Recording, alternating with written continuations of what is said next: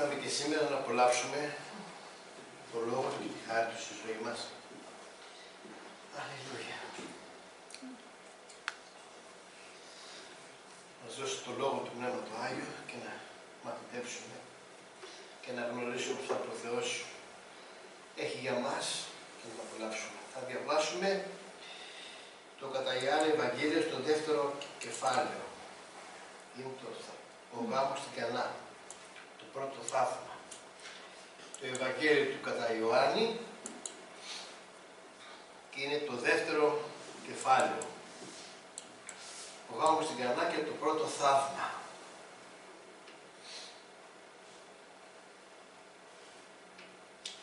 Και την τρίτη μέρα έγινε γάμος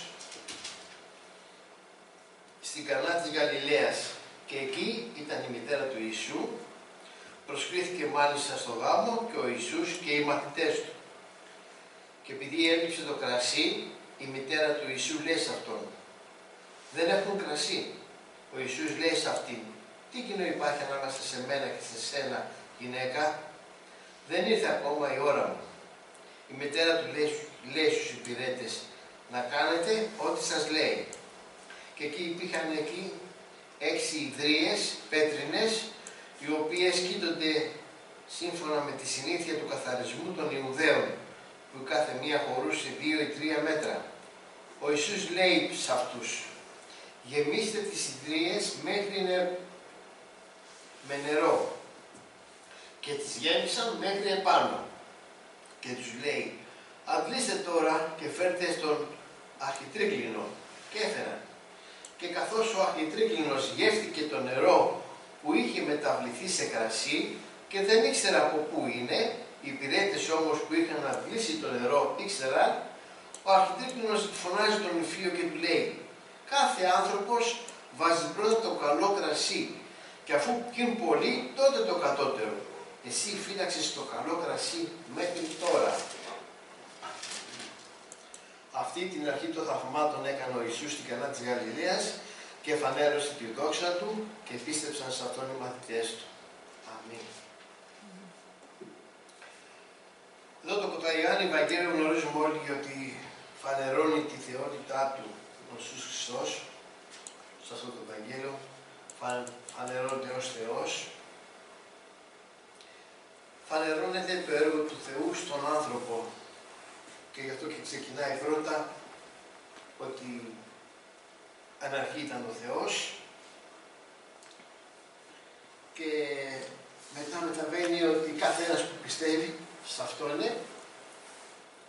έχει την εξουσία από τον ίδιο τον Θεό να γίνεται παιδί του.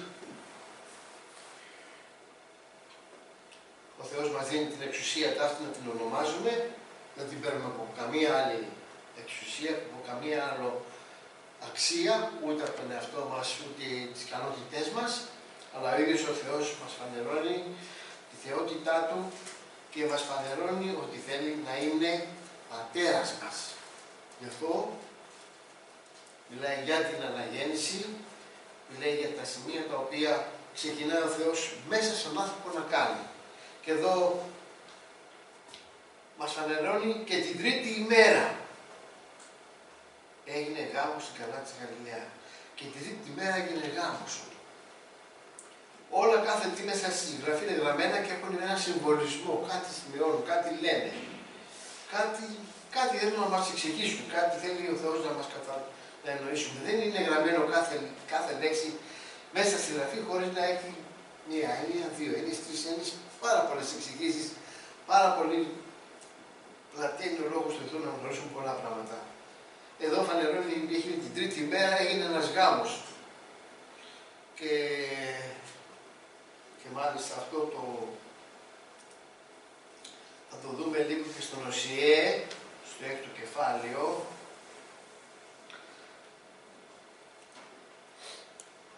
που μιλάει ο προφήτης για τον λαό του να επιστρέψει. Ελάτε λέει και σε επιστρέψουμε στον Κύριο γιατί αυτός και σπάραξε αλλά θα γιατρέψει. Πάταξε θα περιδέσει την πληγή μας. Και μετά θα μας αναζωοποιήσει ύστερα από οι δύο μέρες. Και την τρίτη μέρα θα μας αναστήσει και θα ζούμε μπροστά Του. Και θα αναφέρεται η τρίτη μέρα. Άρα λοιπόν ο Θεός έχει έργο να κάνει μαζί μας και κάνει έργο μαζί μας και αυτό που κάνει είναι ένα παιδευτικό έργο, αλλά όμως φανερώνεται εδώ και την τρίτη μέρα θα μας αναστήσει. Και μετά θα είμαστε αιώνια κοντά Του. Και στη Γραφή, στο Ευαγγέλιο ιδιαίτερα φανερώνεται ότι ο, ο Χριστός θα είναι ο νηφίος, η Εκκλησία Του είναι η νύφη και θα γίνει γάμος στον ουρανό. Και ο γάμος θα γίνει, εδώ όπως λέει η Γραφή, τρίτη μέρα. Πολλοί χαρακτηρίζουν τις ημερομηνίες διαφορετικά. Αλλού ο Πέτρος αναφέρει ότι μην ξεχνάτε ότι λένε ότι κάποιοι, πότε πού είναι ο Θεός, πού είναι ο Θεός, περάσαν τόσα χρόνια και λέει ο Θεός μακροθυμεί. Δεν είναι έτσι. Ο Θεός δεν είναι έτσι όπως νομίζουμε καμιά φορά. Τι κάνει, μακροθυμία. Και εκεί αναφέρεται, εμείς εμάθε λέει ότι μία ημέρα του κυρίου είναι σαν εμά χίλια χρόνια. Δηλαδή φανερώνεται την μέρα, δηλαδή μετά από Τρίτη μέρα δηλαδή θα γίνει ο γάμος, θα γίνει η ανάσταση, θα γίνει. Ναι, θα γίνει γάμος. Εδώ δεν είναι παραβολή, είναι ένα συμβάν κανονικό το οποίο όμως είναι επίγειο. Μες στα επίγεια μας τεχνή ο να καταλάβουμε τι θα γίνουν τα ουράνια. Άρα ο Θεός έχει κάνει και έχει ετοιμάσει ένα γάμο. Και σε αυτόν τον γάμο θα είμαστε. Πρέπει να είμαστε μέσα στο γάμο. Εδώ είναι η μητέρα του Ιησού Χριστού. Πολλές φορές τη χαρακτηρίζουν την μητέρα του Ιησού σαν την Εκκλησία. Ήτανε. Ήτανε. Η μητέρα του ήτανε. Προσκλήθηκε λέει και ο Ιησούς. Άρα λοιπόν στον γάμο η νύφη που πρέπει να είμαστε εμείς, το πρέπει θεωρητικά είναι για το κάθε εαυτό μας, ότι πρέπει να είμαστε πάντοτε έτοιμοι για να είμαστε στο γάμο. Για να απολαύσουμε το γάμο να είμαστε στο γάμο, σε αυτόν τον ουράνιο γάμο που έχει ετοιμάσει ο Θεός και θα γίνει. Οπότε θα γίνει στον χρόνο του. Ο χρόνος και η διάρκεια της χρονολογίας δεν μπορούμε να την ξέρουμε, αλλά μπορούμε να καταλαβαίνουμε από τις γραφές τα σημεία των καιρών που φανερώνεται. Τα σημεία των καιρών φανερώνουν ότι πότε επεμβαίνει ο Θεός ο Θεός επεμβαίνει όταν η ανομία φτάσει στο πλήρες. Όταν οι άνθρωποι φτάσουν σε ένα σημείο άσχημο, να πούμε χωρίς διόρθωση, τότε επεμβαίνει ο Θεός. Στην αυτή διαβάζουμε, τότε που έγινε η καταστροφή, ο κατακλυσμός, διαβάζουμε ότι η κακία των ανθρώπων έφτασε λίγη νηπιότητος. Η κακία των ανθρώπων έφτασε και ο Θεός είδε και στεναχωρέθηκε. Και είπε, τα καταστρέψω. Στεναχωρέθηκε για την κατάντια των ανθρώπων. Και έγινε ο κατακλυσμός των υδάτων. Γιατί, γιατί οι άνθρωποι φτάσανε στο όριο της ανομίας. Μετά αναφέρεται στον Αβραάμ. Αβραάμ, πλούτος επαγγελίες πολλές, από το παιδί σου, από την σφίση του ακούνε έθνη πολλά, λαοί πολλοί, θα ο λαός σου θα υποδουλωθεί και μετά από 400, μετά από 4 γενναίες, 400 χρόνια, 4 γενναίες του Αβραάμ θα επανέλθουν εδώ και θα αποκτήσουν τη γη αυτή. Γιατί, γιατί δεν έχει πληρώθει η ανομία των Αμοραίων. Δεν είναι μόνο των Αμοραίων, είχαν πάρα πολλοί λαοί τότε, δεν έφτασε στο όριο η αμαρτία τους, Θεός επειδή γνωρίζει τον χρόνο, ήξερε ότι μετά από 400 χρόνια και θα έχει φτάσει το όριο της ανομίας, δεν υπάρχει. Από εκεί και πέρα η ανομία έφτασε στα όρια. Και αν κάτσουμε λίγο και να μελετήσουμε και να δούμε όχι μόνο τις γραφές, από τις γραφές θα δούμε τον κόσμο σήμερα, βλέπουμε ότι ο κόσμος, η αμαρτία και η ανομία, η ανομία είναι αμαρτία, έχει φτάσει σε, σε μεγάλα υψηλά επίπεδα. Μεγάλης αμάρτειας, μεγάλης ανομίας. Τι θα δούμε; Και ακόμα τι θα δούμε; Πριν χρόνια στα παιδάκια δεν γνώριζαν πολύ, τα γονείς μας πολλά από αυτά που γίνονται καθημερινά δεν τα φανταζόμασταν. Και εμείς ακούμε σήμερα συζητήσεις γεγονότα που λογικά λέμε σου σηκώνει την τρίχα. Είναι δυνατόν. Είναι δυνατόν αυτός, οι άνθρωποι αυτοί να φτάνουν σε τέτοια, σε τέτοια φοβερά εγκλήματα, σε τέτοιες πράξεις αμαρτίας, ανομίας, πού θα φτάσουν; Η περηφάνεια των ανθρώπων και η αλαζονία τους έχει φτάσει και εκεί σε κράτη με εξουσίες, ποιος είναι ο πιο δυνατός, ποιος είναι ο πιο ισχυρός, ποιος έχει πιο μεγάλη δύναμη, ποιος έχει τις καλύτερες μπόμπες, ποιος έχει καλύτερες, τα καλύτερα βλήματα, τους καλύτερους πυράβλους, τι βλέπουμε. Μία κόντρα ανάμεσα κρατών να απεδεικνύουν τις δυνάμεις τους, τις πολεμικές, γιατί; Γιατί; Θα δείχνουν όλα αυτά. Γιατί θέλουν να έχουν εξουσία. Θέλουν να φανούν ότι εμείς, το κράτος εμείς, είμαστε οι καλύτεροι, είμαστε οι πιο δυνατοί, είμαστε οι πιο ισχυροί. Γιατί το κάνουν αυτό; Πολύ απλά το βλέπουν, πολύ απλά. Επιβάλλονται στα μικρότερα κράτη. Επιβάλλονται στα μικρότερα κράτη. Τι επιβάλλονται, για να έχουν ειρήνη. Μέσα στην γραφή ο κόσμος λέει ειρήνη, αλλά έχουν πόλεμο. Μόνο ο Χριστός δίνει την ειρήνη τη δικιά του. Και αυτή την ειρήνη χρειαζόμαστε.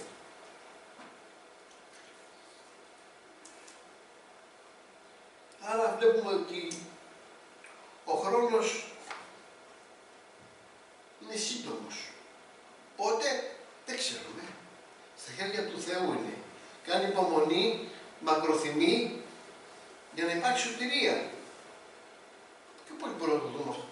Απλά τι οικογένειέ μα, τα παιδιά μα, παράδειγμα, α πούμε. Θα θέλαμε να πιστέψουν και τα παιδιά μα που δεν έχουν πιστέψει, αν δεν έχουν πιστέψει. Ή ο σύντροφό μα, ή οι γονεί μα, που το άμεσο περιβάλλον που αγαπάμε και πιο πολύ απ' όλα. Ή πολλά αδέρφια που έχουν απομακρυνθεί να πιστέψουν. Ο Θεός κάνει μια υπομονή. Αλλά ο γάμος θα γίνει. Και γι' αυτό στο γάμο πρέπει και εμείς να είμαστε σίγουρα. Και ήταν και η μητέρα του Ιησού Χριστού και προσκλήθηκε μάλιστα στο γάμο και ο Ιησούς και τους μαθητές. Και ένα πάλι σημαντικό που πρέπει να ξέρουμε όλοι εμείς οι άνθρωποι, ότι στο γάμο μας, σε αυτόν τον γάμο, όχι τον ουράνιο, τον επίγειο γάμο, όποιος το κάνει ή τα παιδιά του ή όποιος το κάνει, τι πρέπει να κάνει, να καλέσει, να προσκαλέσει και τον Ιησού Χριστό. Γάμος χωρίς τον Ιησού Χριστό δεν θα έχει καλό θεμέλιο. Ο πρώτος καλεσμένος που πρέπει να καλέσουμε πάνω σε έναν γάμο, όταν θα κάνουμε, πρέπει να καλέσουμε τον Ιησού Χριστό. Κύριε, θα κάνω ένα γάμο, εσύ έλα να τον ευλογήσεις, έλα να μας ευλογήσεις, έλα να μας καθοδηγήσεις, έλα να μας δώσεις τη δική σου κατεύθυνση και ευλογία. Απαραίτητο. Γιατί σήμερα οι γάμοι χαλάνε, γιατί χαλάνε, γιατί δεν υπάρχει καλεσμένος ο Ιησούς Χριστός. Δεν τον χαλάνε. Τον έχουν αφήσει έξω. Και αν οι γάμοι γίνονται θρησκευτικοί, γάμοι θρησκευτικοί, είναι χωρίς Χριστό όμως. Χωρίς ουσία. Πρέπει να έχουμε λοιπόν καλεσμένο πρώτα τον Χριστό και με όλους τους υπόλοιπους. Ο πρώτος καλεσμένος μας στο γάμο μας που πρέπει να συμβουλεύουμε ανθρώπους, παιδιά μας και οποιοδήποτε, είναι να καλέσουν τον Ιησού Χριστό πρώτα Και εδώ μας φανερώνει ένα γεγονός, ότι έλειψε το κρασί. Έλειψε το κρασί. Σημαντικό. Το κρασί είναι απαραίτητο. Στους ανθρώπους είναι απαραίτητο. Το κρασί είναι απαραίτητο. Γιατί κάνει καλό τον άνθρωπο, όχι να πήρε πολύ, το λέει μέσα μάλιστα και ο Παύλος στον Τιμόθεο, να πίνεις ένα φωτηράκι λίγο καλό, λέει για το στομάχι σου, ο ασθενής. Βλέπουμε εκεί στη Ρούθ, μαζεύανε ε, τα στάχια και αυτά, καθόντουσαν, λίγο ξύλι, κρασάκι να πιούνε, αλλά βλέπουμε και ο Σαμαρίτης. Όταν είδε πληγωμένο, έσυψε το ελαδάκι κρασάκι και τον περιποιήθηκε. Και είναι καλό. Μπορεί να κάνεις και ένα τραπέζι. Εμείς κάνουμε ένα τραπέζι. Χωρίς να έχουμε κρασί. Όχι. Δεν το βάλουμε το κρασί. Απαραίτητο. Μπορούμε να κάνουμε ένα γάμο χωρίς κρασί. Όχι. Το θέλουμε το κρασί. Όχι για να πιούμε, να μεθύσουμε, αλλά εφραίνει την καρδιά του ανθρώπου. Αλλά πρέπει να προσέχουμε πάντοτε, όπως λέει και παραμιαστή, αν πει πολύ, να κάνει μετά, μετά με τις στυλέ. Και να προσέχουμε. Είναι απαραίτητο κρασί. Και σε αυτούς τους, αν πάμε λίγο στις εποχές αυτής, άνθρωποι φτωχοί, απλοί άνθρωποι, που δεν είχαν πολλά πράγματα και πλούσια τραπέζια, το κρασί ήταν απαραίτητο να πιούν οι καλεσμένοι. Και λέει όμως μέσα, δεν έχουν κρασί. Και αυτό η μητέρα του Ιησού Χριστού το καταλαβαίνει, το ξέρει και λέει στον Ιησού Χριστό, δεν έχουν κρασί. Και τι απευθύνθηκε η μητέρα του Ιησού Χριστού στο κρασί; Γιατί τι έλλειψη. Ποιος θα μπορέσει να καλύψει αυτό το κενό που δεν υπήρχε; Ο Ιησούς. Μα εδώ λέει είναι το πρώτο θαύμα. Δηλαδή ο Χριστός είχε κάνει κι άλλα θαύματα και Μαρία ξέρει. Όχι. Έτσι. Λογικά θεωρείται ότι δεν έκανε θαύματα, αλλά η Μαρία ξέρει ποιος είναι ο Ιησούς Χριστός. Ξέρει. Ξέρεις πώς γεννήθηκε, ξέρει την επαγγελία, τα ξέρει όλα. Άρα δεν είναι ένας οποιοδήποτε γιος, είναι του Θεού ο γιος.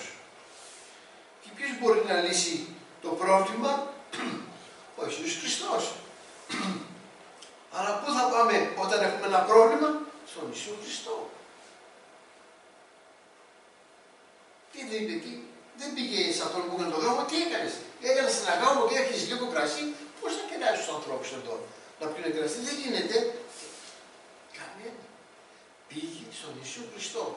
Γι' αυτό κάθε τη στη ζωή μας, πού θα πάμε, πάμε στον Ιησού. Του λέει δεν έχουν κρασί. Και η απάντηση του Ιησού Χριστού είναι τι κοινό υπάρχει ανάμεσα σε μένα και σε σένα γυναίκα; Δεν ήρθε ακόμα η ώρα. Τώρα τι διαβάζουμε τώρα εδώ πέρα;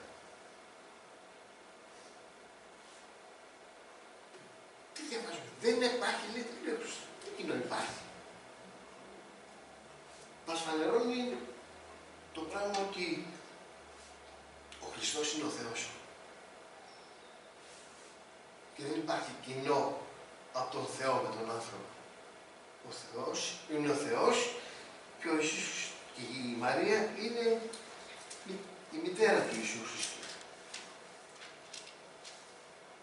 Θα διαβάσουμε ένα άλλο πάλι συμβάν πα, παρόμοιο με αυτό το θέμα. Είναι στο 7 κεφάλαιο, πάλι στον Ιωάννη,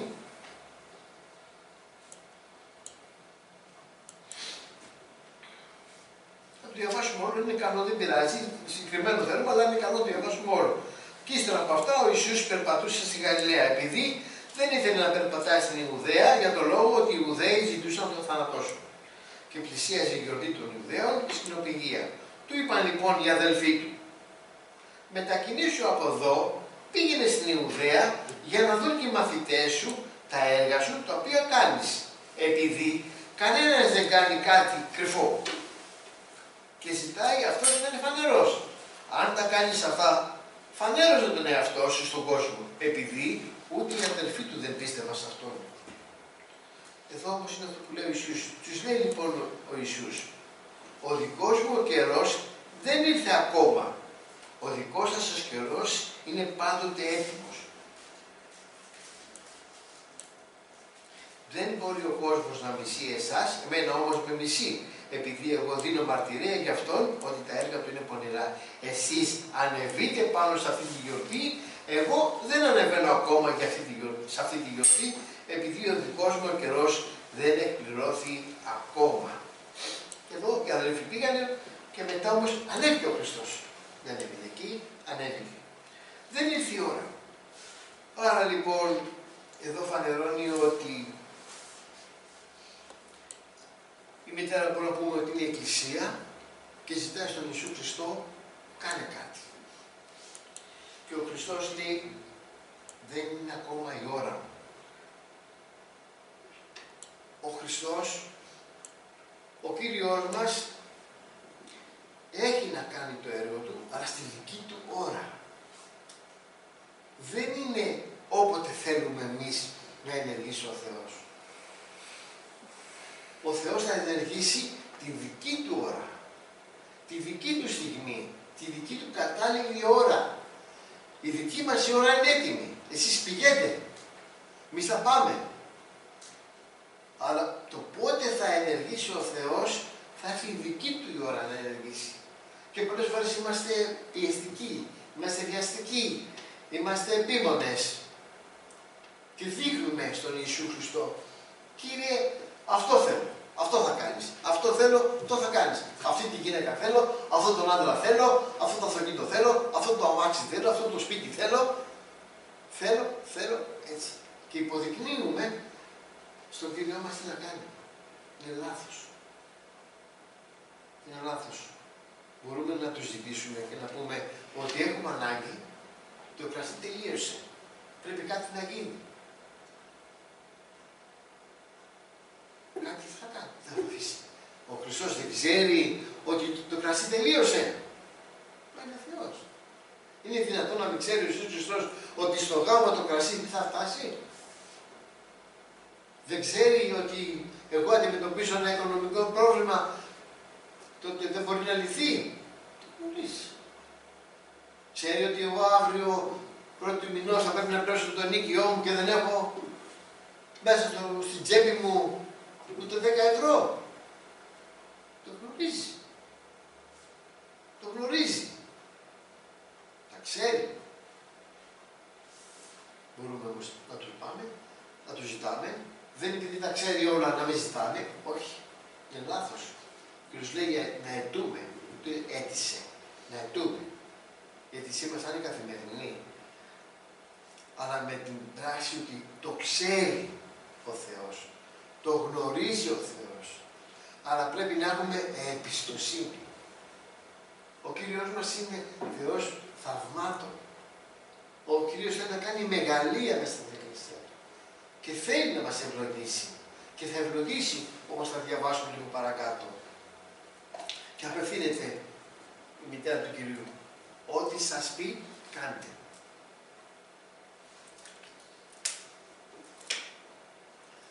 Τι μίλησε. Τι είπα, ότι δεν έχει έρθει η ώρα μου. Γιατί απευθύνθηκε στους υπηρέτες και λέει ό,τι σας πει κάντε. Γιατί ξέρει, γνωρίζει ότι δεν θα αφήσει το γάμο έτσι να χαλάσει. Δεν θα αφήσει ο γάμος να μην είναι μια ευχαρίστηση των ανθρώπων του ζευγαριού, της συγγένειας όλων και όλου του χωριού. Δεν θα το αφήσει, θα το κάνει, κάτι θα κάνει. Να κάνετε ό,τι σας λέει. Άρα λοιπόν τι πρέπει να κάνουμε, ό,τι μας λέει. Θέλω Κύριε να κάνω αυτό. Αν δεν στο πει ο Κύριος να το κάνεις, μην το κάνεις καλύτερα. Περίμενε. Να κάνω εκείνο, να κάνω το άλλο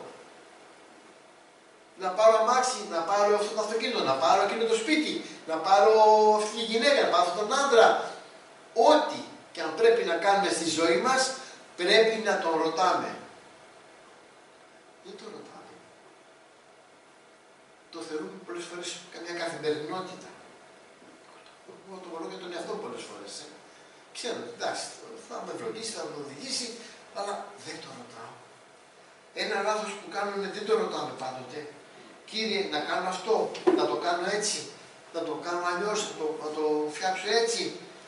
Ξέρω ότι ο Θεός θα με φωτίσει, με φωτίσει, να το κάνω με εκείνο, αλλά όμως δεν κάνω όπως τα γράφει η γραφή. Αυτό με διδάσκει. Ό,τι σας λέει κάνετε. Και εκεί υπήρχαν έξι ιδρύες. Και έξι ιδρύες πέτρινες, ξέρουμε την έκτη μέρα είναι ο άνθρωπος. Γιατί είναι έξι για τον άνθρωπο είναι. Η πέτρινη στιγμή είναι οι ανθρώπινες ψυχές μας, το σώμα μα. Εμείς είμαστε. Εμείς είμαστε οι ιδρύες. Και είναι άδειες. Και τους λέει,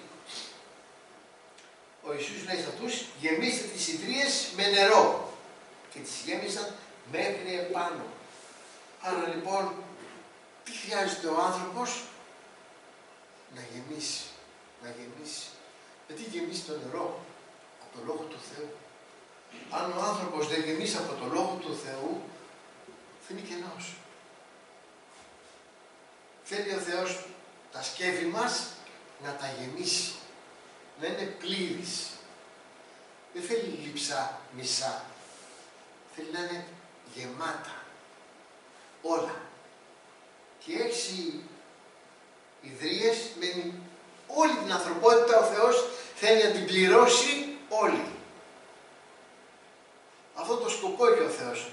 Όλη την ανθρωπότητα που έχει φτιάξει θέλει να την πληρώσει όλη. Να είναι γεμάτη. Να γεμίσει από τον Λόγο Του. Όλοι να γνωρίζουν τον Λόγο Του. Όλοι να τρώνε τον Λόγο Του. Όλοι να γευόνται αυτό το, το νερό. Αυτή την πηγή του νερού που βγαίνει από τον Θεό. Να γεμίσει. Ο άνθρωπος όλος να γεμίσει από το νερό. Να είναι γεμάτος.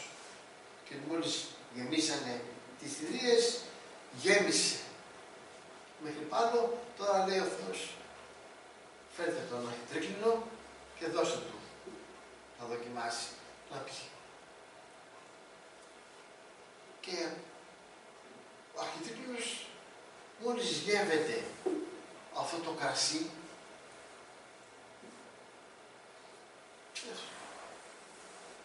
αυτό το ωραίο κρασί του λέει του, του γαμπρού, αυτό το ωραίο κρασί το άφησε για την άκρη, μας έβαλε δηλαδή από το γάμο και πίναμε το παλιό κρασί και τώρα αυτό το νέο κρασί το καλό το φύλαξες για το τέλος; Αυτό το νερό που γεμίζει ο άνθρωπος από το Λόγο του Θεού βγαίνει από μέσα μας, όχι νερό πάλι, βγαίνει κρασί. Βγαίνει κρασί. Και το κρασί είναι αυτό που εφραίνει τους ανθρώπους. Πρέπει λοιπόν το δοχείο μας να το έχουμε πάντοτε γεμάτο, γεμάτο από το Λόγο του Θεού. Γιατί όσο το δοχείο μας είναι γεμάτο, ότι θα βγαίνει μέσα από το δοχείο, θα βγαίνει ένα νέο κρασί, είναι το Πνεύμα το Άγιο που θα εφραίνει ανθρώπους. Το νέο κρασί είναι αυτό το Πνεύμα το Άγιο, που θέλει ο Θεός να διοχετεύει από εμάς προς τους ανθρώπους. Αυτό θέλει ο Θεός να κάνει στη ζωή μας. Να γεμίσουμε και να βιάζουμε μετά εφροσύνη. Λόγια Θεού. Λόγια αγάπης. Παρουσία Θεού. Γιατί το κρασί αυτό είναι το νέο κρασί. Είναι το πνεύμα του Άγιο το οποίο τώρα διοχετεύεται από τον άνθρωπο προς τον άνθρωπο. Ο Θεός το έχει κάνει. Τα σκεύη μας είναι πύληνα. Και όμως ο Θεός ευδόκησε σε αυτό το σκεύος το πύληνο που είναι έθραστο πέφτει και σπάει να το πληρώνει με την παρουσία του την Αγία. Θέλει ο Θεός τα σκέφη μας, τα πύληνα, τα άχρηστα, τα οποία δεν είναι τίποτα άλλο, είναι κομμάτινα, να τα χρησιμοποιήσει ο Θεός για να εφέρνει τον κόσμο. Για να γεμίσει με την παρουσία του στους ανθρώπους. Έτσι θέλει ο Θεός να είναι λύση. Γι' αυτό είναι το πρώτο θαύμα που έκανε και είναι το, το τελευταίο που θα κάνει ο Θεός. Ο γάμος. Μέσα από ένα γάμο γήινο, ανθρώπινο, μας φανερώνει ο Θεός τι θέλει να κάνει και πώς θα εργαστεί μέσα στη ζωή μας.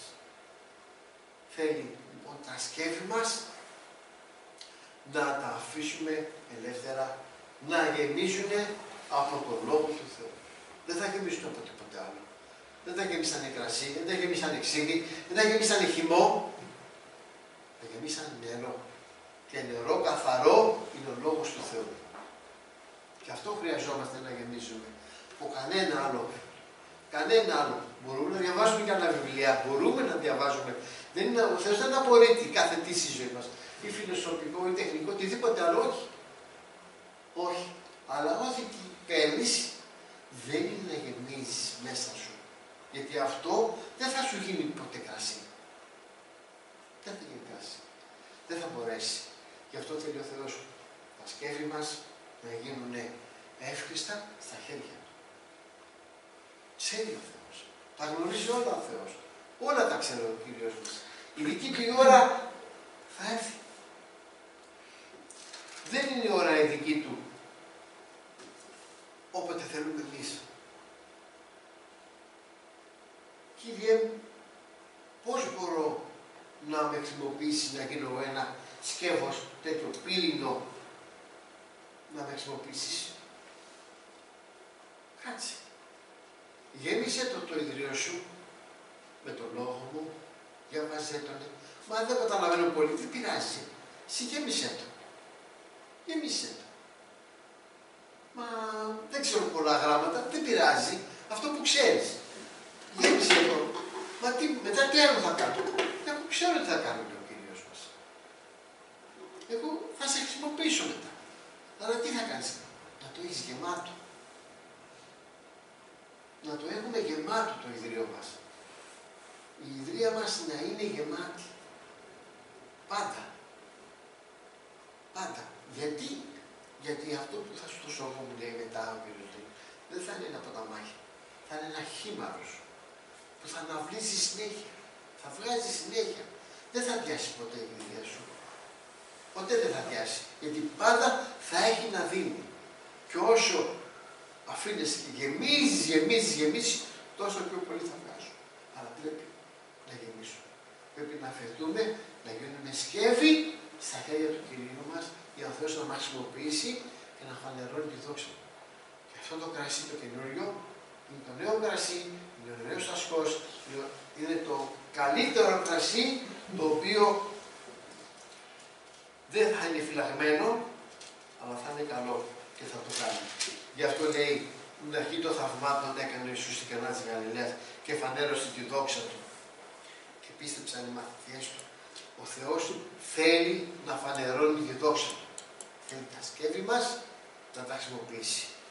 Ο Θεός να μας ευλογήσει και να μας βοηθήσει να γίνουμε στα χέρια του ένα σκεύος εύχριστο για κάθε χαρά, για κάθε γάμο, για κάθε τι μέσα στη ζωή μας. Θα φερθούμε στα χέρια του Κυρίου μας. Αμήν.